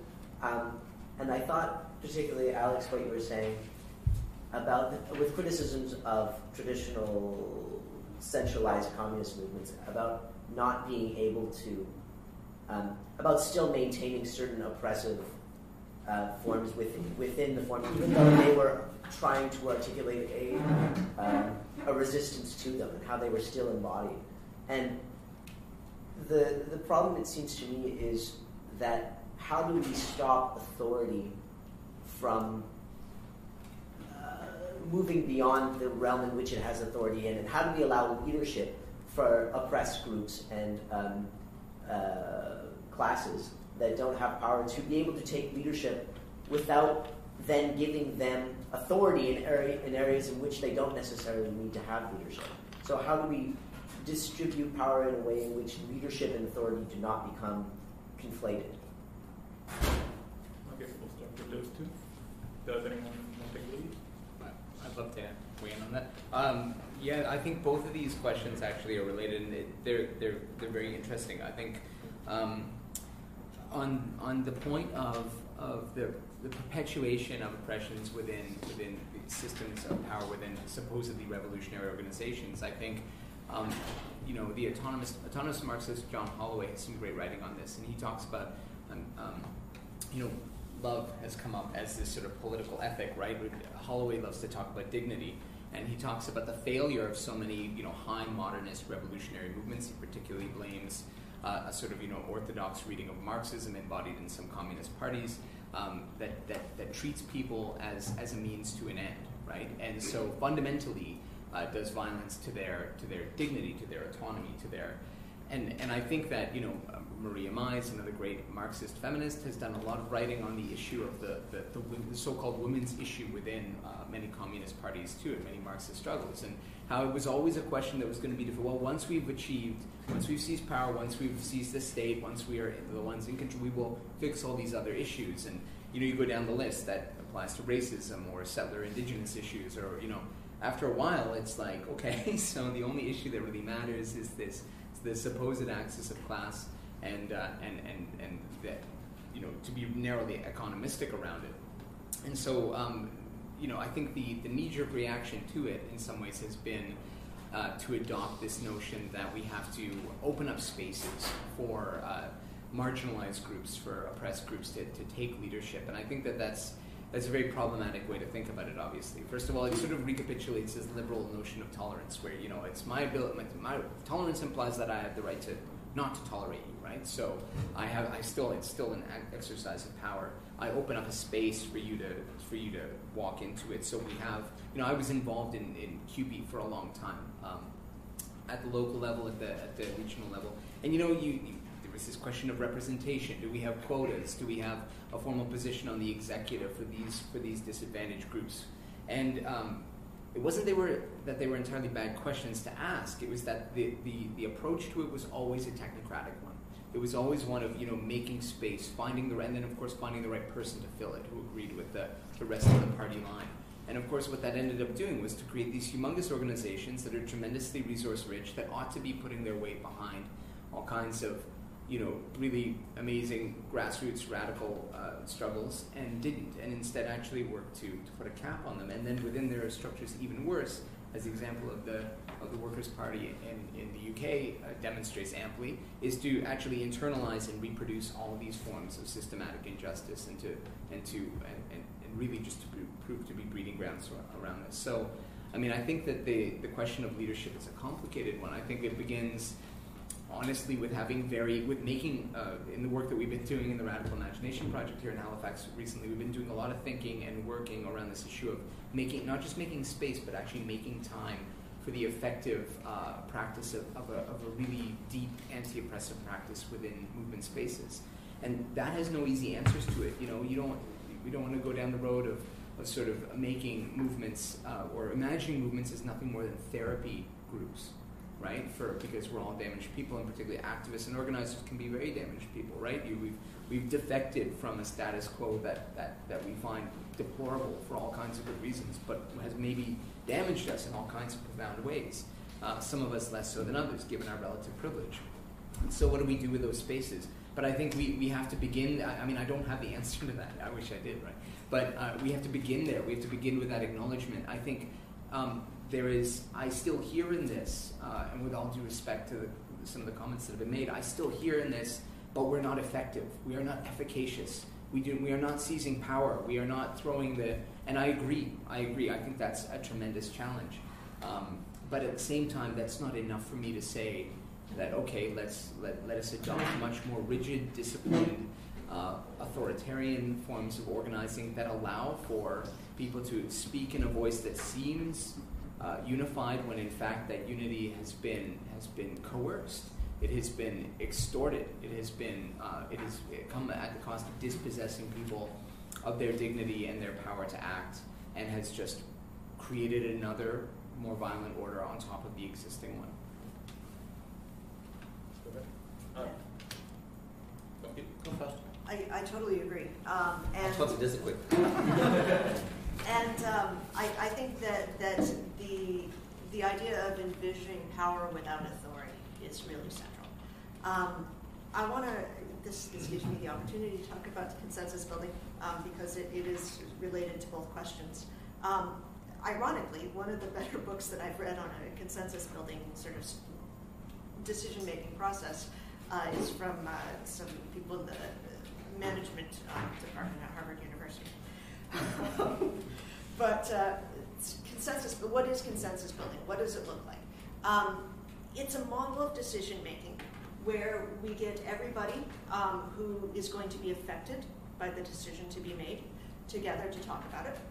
Um, where you, you start off with talking about what people's concerns and needs are around the process. Um, the particular book, you know, their, their motto is you, you, you go slow to go fast right? So there's a lot, it, it can feel frustrating to people who are not used to it at the beginning because it starts off very, very slowly, especially in a world where we are really not used to that model of decision making, where we haven't been talking about what are my needs? You know, what are your needs? Uh, what, what are our fears around this decision that we need to make, that we need to hash out together? Um, that um, requires vulnerability, it requires courage, um, and it's a lot of work that we're not used to doing, we're not trained to doing.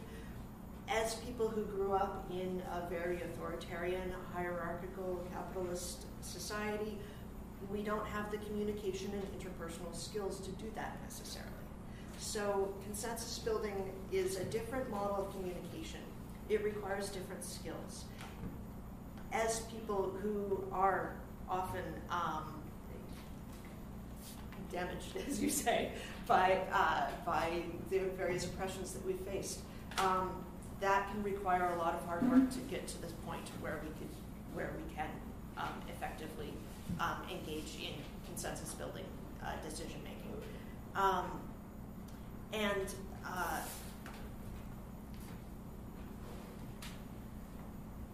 Yes. So um, so it can it can look frustrating uh, when you're just starting that process because it's a really long process. Right. So it looked like a lot of a lot of occupies outside of the sort of sort of central one at Occupy Wall Street and probably the main sort of strongest, more, most radical one in Oakland, um, did have a lot of issues around the decision-making processes and structures because people came to it with different skills, with different expectations, um, and maybe they didn't always have those those really necessary foundational conversations.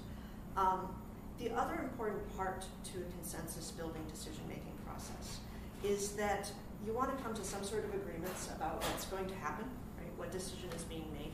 Um, but the, the goal is that they be self enforcing agreements. Um, and so this ties back into this idea of leadership and how do we how do we have accountability for our leaders, depending on how we define leaders, the people who we have given responsibility for, for performing certain tasks on behalf of a group. Um, if you have done all of the proper preparatory work, all of the slow, hard preparatory work, and you've come to a consensus agreement, um, ideally, you've built into that agreement, okay, how are we going to check in that I've done my piece of the, of the agreement, that you've done your piece of the agreement? Um, how are we going to uh, make sure that that happens? And that is actually part of the agreement, right? It's not just, oh, we make this decision, everybody follows it. The follow up um, and how we deal with if somebody is unable to keep up their, their task that they've agreed to is part of the decision. Um, in the uh, IWW uh, organizing model, for example, uh, one of the one of the things is you know giving people uh, you know requesting that they perform small tasks, um, and then sort of working up to, to other tasks to sort of get them to, to feel involved with your workplace organizing effort. Um, sometimes people aren't able to complete those tasks. So then what do you do? Well, you don't throw your hands up and say, oh, I guess we can't organize our workplace. You go to them and you say, what, what, um, so what went on here? Like, what, what, what made you uncomfortable or made you unable to perform that task? And you work with people and try and say, okay, you know, we had this agreement. We, we both have done the foundational work. We know that this end goal is the thing that we that we both or that we all want to work towards. What is it exactly that's getting in the way of you accomplishing that that piece of the, the puzzle that you've agreed to take on responsibility for? Um, and especially because we're all steeped in capitalist hierarchical tradition. Um, you know, there's there's a lot of reasons that that could be, and a lot of very good reasons. Um, and so the the key there, and part of the consensus decision making process, is to go back and support each other through those obstacles, so that we can support each other to do the, the tasks that we've agreed to do, and to, to hold ourselves and each other accountable and responsible, but in a compassionate and supportive way. Of course, it is very hard to disagree with what you just said because it sounds wonderful. Because it's right. so I'm not disagreeing with those wonderful aspects you just described. I guess what I'm disagreeing with, and that's my remark from earlier, is whether this actually is workable and feasible. And I think Occupy had shown some of the limits of some of these ideas. So, and to answer the question from the comment from the AK Press, um, you know, the political unity question is, of course, an important one. People tend to affiliate with those people who share their political ideas. That's why some of us are in different organizations, and I'm sure there are other organizations represented. So that's how kind of people group together naturally. Um, and I think nobody wants to recreate an organization or an organization that recreates oppressive structures when in reality that organization should be dedicated to working for the liberation of humanity. You know, I'm not I'm not advocating to have a model like the SWP and repeat that. I think that's not a good model to follow. But what I am advocating is to have an organization that combines elements of freedom of discussion of the members in order to reach the best possible decision where ideas are debated and threshed out and proposals made and counter proposals made and argued, argued, argued, and then through a democratic process of electing and voting on those proposals, a decision is made. Why? Because you can't talk forever. And it seems possible when it is a non-urgent issue and everybody has time and you know it's cool. But when something fundamentally shifts in society, when there is a struggle going on, when the enemy is literally locking, knocking on your door, the parameters somehow change. And people usually realize that very quickly. And they realize we need to come to a decision because we need to do something. And that's simply reality of struggle of different forces with each other, of capitalists with workers. In those situations, you need to come to a decision because you need to act. And I believe you need to act in unity. I voluntarily submit, you know, to decisions made by people I elect in an organization that I trust. And I will go along and carry out those decisions. Because I think it will be better that we all act together after we discussed and agreed, rather than discussing and agreeing and then those who disagree go off and do their own thing. What's the point of discussing in the first place if we then all go off in different directions? It actually weakens us. I think the ability to say, I will go along with the majority decision and support that, even though I have some doubts about it, will make the overall goal more likely to be realized. I submit voluntarily to that democratic decision. Unless the decision was so fundamentally wrong and so clearly opposed to everything I believe in that I would have to leave the organization altogether and affiliate with people who are more likely to make decisions that are in line with my political beliefs. I think that's the kind of unity. Um, do I have time? Or? Uh, well, I think compared to the other speaker, you would have another minute. Another minute. So, so that's kind of the decision making, I guess, internally that I'm thinking of. But then, of course, the reality we have now is that we are in different groups with somewhat different programs or beliefs or functioning. So, how can we work together? I believe it's possible on clearly agreed and defined terms. I call it united front work, you can call it coalition work. Um, and I think those opportunities arise. I talked to Andoni last night, and one of the examples I always give, because I experienced it, um, is anti fascist work. I think we're all agree that fascists need to be dealt with, and I hope we all agree that we need to stop them from organizing and marching down the street. So, on that basis, I would propose that all of us have that agreement that on day X we all turn up an hour before they're supposed to assemble in the main square and prevent them from assembling and marching. And on that basis, we would strike an agreement that is very specific. The objective is to stop the fascists from marching on that day. To that extent, we will work together, collaborate, and act as one, hopefully, in order to be strong. To smash their fucking heads in. and I would be happy if we can achieve that unity and carry out that successful action. And that's what I believe are moments where we can come together. We don't necessarily agree on what the Soviet Union represented, but we can, but we can agree on the need to stop the fascists. And that's the kind of unity that I advocate actively whenever I have the opportunity. Oh, Chris had a Oh, Yeah, I mean, I was gonna, I'll try to chime in on a couple quick things on this. Uh, one thing is, uh, for anybody who's not up on the minutia of left gossip, so the SWP, the uh, funny fact, SWP, the split in the SWP formed the ISN, the International Socialist Network, which just split again on Thursday. Um, so things are things are moving. As I said, Marxism always changing.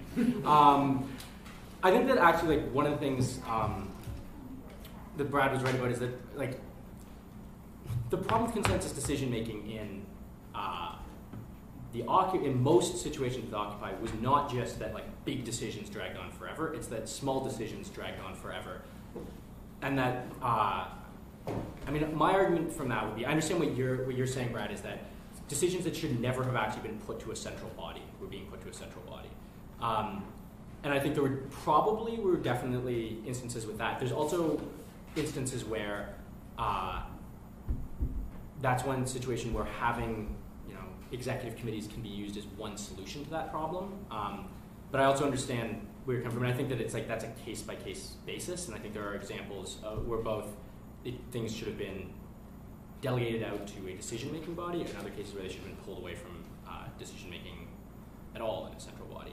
Um, one thing that I think is important about Occupy when we talk about those, I actually think that it's in some ways wrong for us to use Occupy as like this as an example of an anarchist organization, because in a lot of ways, it's actually the thing that I was trying to talk about at the beginning, which is that people, who, like there was a bunch of people who got together in many cases, uh, who couldn't imagine actually organizing in any way other than like these general anarchist anarchistic principles, right? That it's like there was no conversation at Occupy Halifax if this model of consensus-based decision making was the right one. It was just like people were drinking coffee at Just Us, and we're going to make decisions based on consensus-based decision making, and everyone else is occupying in two weeks, and so are we. And that's essentially part of the problem is that we we've internalized the idea in a lot of ways that like a version of anarchism is the only way forward, uh, without the sort of robust reasoning that I think that you two have for it. Like I think you two have both, both robust reasoning for why you think the models that you believe we should organize under should, we should organize under.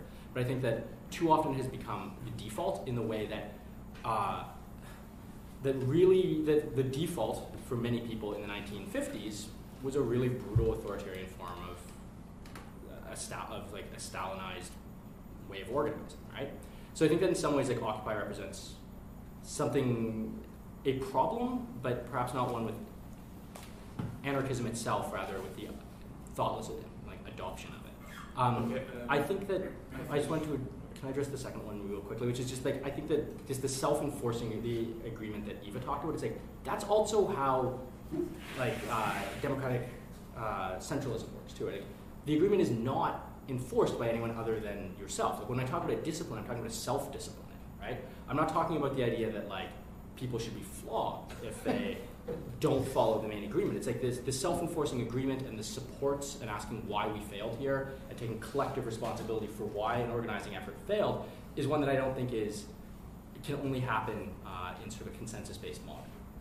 Um, yeah. Thanks. Uh, yeah, have you have a question? It seems that a common element in all the talks is that we don't actually head two very extreme poles of Marxism and anarchism, but that quite often there's a marriage, at least to some of the elements, somewhere in the middle, be it Marxist critique or anarchist practice or what have you. Um, and in the last couple of decades, especially, we've seen a shift towards more anarchistic horizontality. Um, I was reading an article the other day about vocabulary of the new left versus like the post-new left of today, in which the language has really shifted from like liberation, overthrowing the state, to creating safer spaces, or instead of the people, to intersectionality. Um, and given Occupy all that's happened, I think few will argue that actually these horizontal pushes of creating, uh, rethinking our personal relations, creating alternative communities is necessarily a bad thing. But I want to ask if, when, and how we do engage with the state. How do we challenge power or authority? And I think um, something examples like the Zapatistas also kind of raise, raise that question as well. I think right now, I think the government of Mexico is okay to not have to worry or really provide services to the poor of the state there. But when do we get to the point where they're so big in size or number that you have to engage? And how, how does that happen in different forms? Uh, I- I- just a very simple question as you, as, uh, as you go through. Um, all of you have some kind of orientation to Marxism or have some kind of affinity to it. Uh, what is Marxism for you? Because it seems one way it's coming out tactically, like Marxism is organizational. But what is Marxism in relationship to the broader left? Like, what? How do you understand it? Anybody wants to tackle one of those two questions? Uh, they're both great questions. Um, I think maybe just your question first, Anthony. I'd say that uh, I, I would identify certainly with the theoretical trend of Marxism that would be identified as autonomous Marxism. I think autonomous Marxism is, is really a very rich analytical strand that emerges also out of people's concrete struggles and, and frustrations with some uh, maybe more doctrinaire forms of Marxism, so older forms, more doctrinaire forms of organizing, uh, the centrality of the party, all those kinds of things. Also, the relationship between capital and struggle and how that, that works. Uh, for, for me, um, Marxism is like I said before, I think the most robust and, and relentless way of, of, of rigorously understanding the science of exploitation that is capitalism. And, um, and, and for me, Marxism is, is that. It is not primarily an organizing strategy. I see the, you know, um, the tendencies that have emerged out of it obviously uh, are are strongly affiliated with it, but, but Marxism as such, for me, doesn't mean organizing. Anarchism perhaps is closer to, to actual organizing, but lacks the ideological robustness, I think, of Marxism, and certainly lacks like Mar- anarchist analysis, especially of capitalism, comes from Marxism, unless it's some horrible form of anarcho-capitalism, which most anarchists would reject as, as a form of anarchism at all, right? Um, so I'd say, for me, that's that's where I come at. Um, on the question of engagement, I think it's a great one. I think you're absolutely right. Um, this is the, you know, in some ways, it's the crux of it all. I don't know.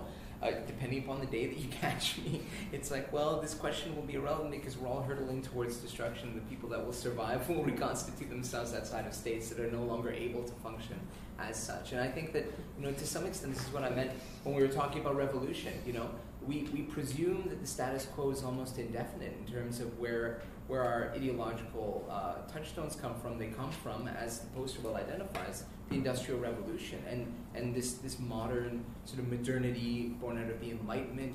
Uh, they may reject liberalism, but they're in the same bed with liberalism.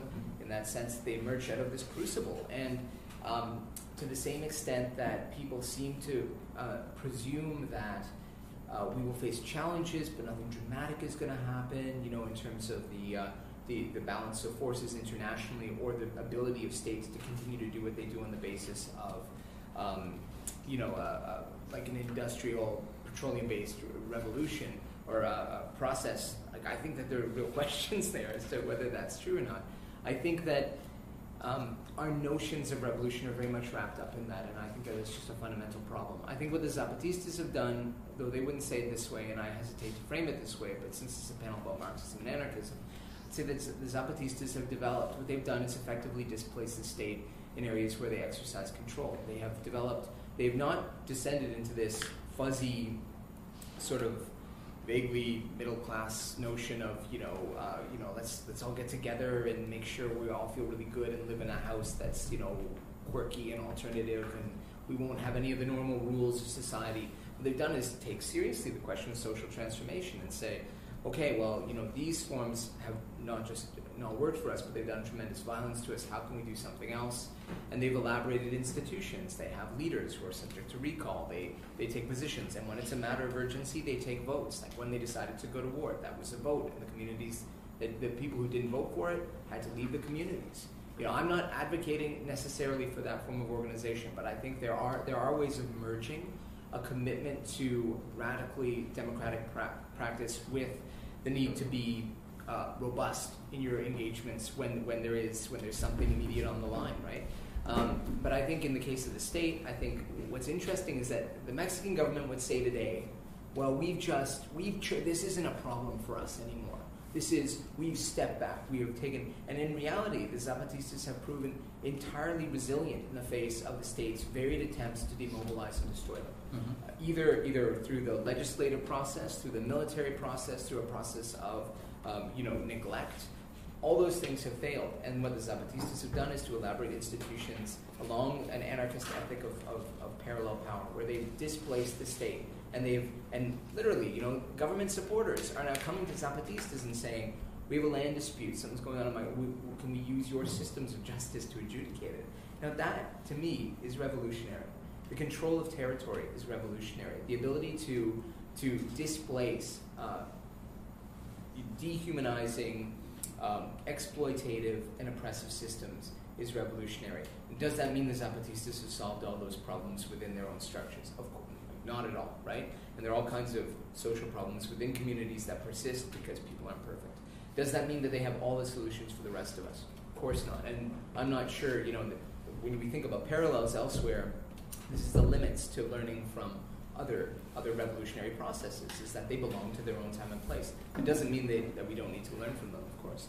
But I think it's an excellent question, and you're right. I mean, I think that uh, along the lines of what everybody here today has said, I think there is a question of pragmatism that you know you need to be able to say ideally, this is my world, and yet in practice, how will I how will I deal with these with these forces, with this with these uh, systems of power when we're compelled to when they bump up against us? And I think that kind of intentionality has to be a part of it. If we're serious, you know, otherwise let's just go around and throw paintballs at banks and stuff like that. But that's not serious. That's just you know that's just frustration. That's not serious social change. Okay, we have very little time left, so maybe consider answering those questions as your closing remarks as well. Whoever wants to follow. I have some remarks. I can. I went first last time. You can go Okay, first this time. thank you. Um, so, the question of Marxism and state and power. Um, you asked, how do we engage with the state? I'm not entirely sure that's the best way of phrasing the question because I find myself being engaged by the state whether I want to or not. And I think that's the reality that the state exists and the state will tell me and you how things are. It will tell you what the student fees are and it will tell you what offense will send you to prison and how long the sentence will be and under what conditions you will serve your sentence. All of those things are how the state engages with its dear citizens. So I engage the state as my opponent in current society because the current function of the state is to oppress and to maintain the rule of capital. And that brings me to how Marxists see it, which means that, in my view, we cannot reform the oppressive nature of the current state. Some people advocate police reform, you know, make the cops a bit more accountable and nicer. I think that's bullshit. But, but anarchists You- would say the same thing. So what's specific about Marxism? Right, so specific is that Marxists believe that the existing state cannot be taken over, and that Marxists belief, we need to replace it with a new type of state, which I think I alluded to earlier on, with a state that is based on workers' rule, on workers' councils. It will still be a state, which will disappoint the anarchists, but I think it's the best way to defend the interests of the majority of people to have that worker state in order to guard ourselves against the counterattack by capital and the bourgeoisie. That's how I see it. I see the worker state, a newly type, a new type of state, as our main defense of our gains after the revolution. And that is, I guess, the, for me, why I am a Marxist, that I believe that the revolution needs to be defended once it is successful, and the best tool that the working class will have will be a proletarian state, which is run and controlled by the workers themselves through what I call Soviets, or you can call workers' councils, through their democratic participation in society. They will, we, should I say, not they, we will no longer be spectators, but we will be active participants in running society. Stand has a, a vision or a model that we call practical communism, um, which is uh, very similar to the mosaic or network model that I was describing earlier. Um, and to, rather than re-describe it, let me give you an example. Um, so in my neck of the woods out in the Annapolis Valley, uh, a lot of people are becoming more and more concerned about fracking. Um, you know, something that is known to be harmful to groundwater. Um, so some people that I talk to, uh, that, I, that I'm friends with, um, are, you know, what can we do about fracking? How can we keep uh, our groundwater from being affected by this in, in the town that we live in? What we advocate, sort of the, the way we would deal with that practical problem that's directly in front of us, is um, to try and help people address it in a way that builds their own power and builds their own autonomy. So instead of asking the state for, uh, you know, to do something for us, we would try to organize people to um, do something themselves. Um, so we would try to engage with the state as little as possible, basically. Um, so what, what we could do, for example, is we could say, okay, let's go around to all of the towns in our watershed and let's, let's have some town meetings of all of the people who live there um, and talk about this issue and say, you know, so one of my friends wanted to have our town, have, you know, declare our town to be a frack-free zone by some sort of town bylaw. Like, okay, that's probably not going to do much. Um, but what if we went around and as a start to all of the towns, we, we sort of had this sort of discussion and, and each of the towns said, okay, you know, our town, we're going to be, we're going to declare ourselves to be a no fracking area. Um, but if we do it in a way where we are getting everybody together to discuss that, to give them a sense that, you know what, this is, this is our water that, that we have to live with, and so it's, we have a right to make decisions about what happens to, to our environment that we're living in. Um, then, okay, so you get a bunch of towns that, you know, maybe maybe a whole bunch of towns, like all the towns in the watershed, pass some bylaws that, you know, say we're not going to have fracking in our town. Um, so then the question is, you know, what happens in the long run? Um, eventually, the province might come in and say, yeah, your town bylaws don't count for anything. Well, if you've built up that organization, that, that grassroots democratic organization, then people are going to look at that and say, wait a second, you know, we went to all this work. We have built up this idea um, that this is our environment that we get to have a say in. We've built up our confidence in our own ability to, to assert ourselves and to stand up for our own autonomy, our own decision making around our environment that affects us. And then you have the organization in place that can push back against this, you know, the provincial state's incursion um, on on that that you know assault on, on our natural environment.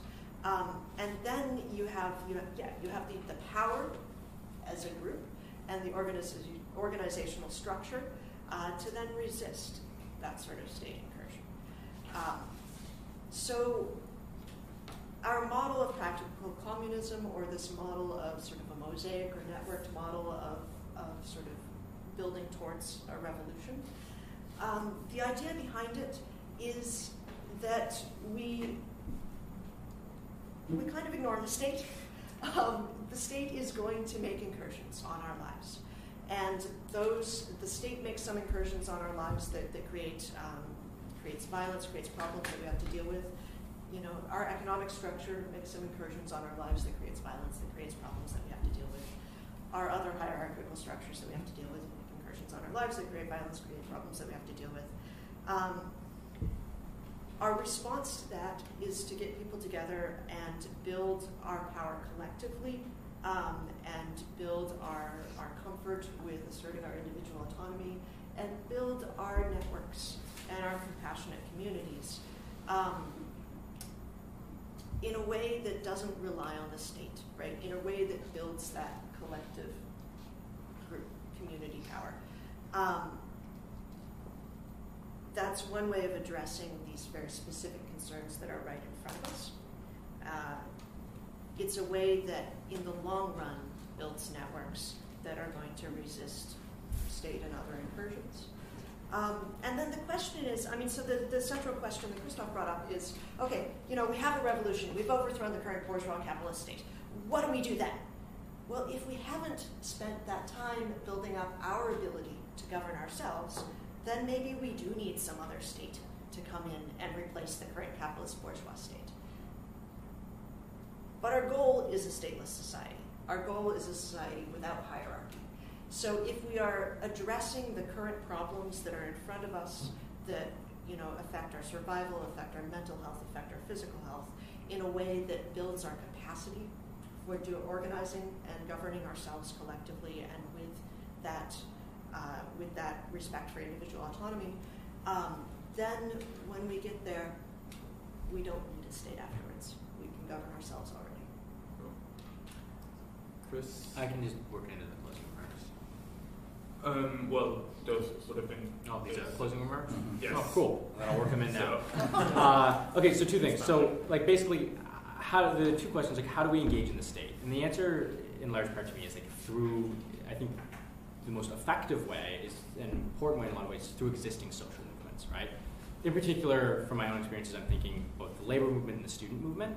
Um, there's sort of a few reasons which I'll go through quickly why I think that's important. The first is is that like how many of us found radical politics through some form of social movement, right? Through the women's movement, through the queer rights movement, through the labor movement, through the student movement. And in my case, that was because I realized through the student movement that like social democratic politics were bullshit. Right? Like I realized that butting my head against that was really fucking difficult and was not going to get us anywhere. I like to say that like I'm no longer as naive as I once was. Right now, I, I don't believe in like utopian things like reforming the state through social democracy. I believe in actual solutions. Um, the other thing is, is that we want to win interim reforms, right? Reforms that ideally build towards revol- like revolutionary change, but also reforms that make living conditions in the present a bit less hellish, because life under capitalism is a fucking horror. And the reality is, is that until the revolution comes, I'm not going to leave people who need special dietary, uh, who have special dietary needs without the means to actually purchase it because welfare rates are too low, right? Um, so I think that like that's another reason. Another reason is, is that come a revolutionary situation, we want these social movements on side. But the flip side of it is, is that we don't want them on the side of capital, right? Like not like it's not just about t- bringing them on side on the name of like being on the revolutionary side. It's the same reason why the Indiana Pacers are trying to sign Andrew Bynum. It's not just because they want him and come playoff time, that they don't want the Miami Heat to have him. That's an analogy that was lost, right? Um, the point is, you don't always like. In some ways, you want to take you want to take those social movements out of the forces of reaction, and if you can't bring them all the way on side, at least stop having them throw up roadblocks the way that Alex talked about, right? Um, the other thing is this question of, I think this question of like why, why like what do I mean when I say I'm a Marxist, but also what do I mean when I when I'm identifying as that as opposed to an anarchist? Um, part of that is one of the things that I think is important is that like I mean I identify also like I identify as a communist. Ultimately I believe that we I want to believe that we can arrive at a point where we no longer need a state. It is this inter it's how do we get there that I think is actually this question of disagreement, right? And one of the things that I think is really important and one of the reasons why I think that when I talk about being a Marxist is that I recognize that we can treat each other better, we can treat ourselves better. But ultimately, one of the things that constrains our social relations, and the primary thing that constrains our social relations, is the economic conditions under which we live. And I think that to believe that we can overcome those economic conditions through an act of will or even an act of organization is ultimately misguided. I think that if we want to live in a world where we have like true, sort of just and loving social relations, and I think that like one of the things that like is actually really nice is that we have talked about this idea of community and love. And I think that like I, I long for that. But I think that the reality is is that to actually get there and create a situation where that's sustaining, we have to change the economic base first. And maybe that like makes me sort of old timey to think that we have to get there first, but I think that like to I think it's wrong to believe that we can change completely change social relations and then economics will follow if we don't have sort of the sort of economic and political problems really dealt with before we move into some sort of state of a social revolution, we're not going to find ourselves able to sustain uh, in any sort of meaningful and widespread way uh, the sort of loving and just world that I, I, think the four of us all sort of really agree that we're pursuing in our political work. So I, I would end that, at least my thoughts for the day there. So uh, that concludes our panel. Thank you all very much for coming.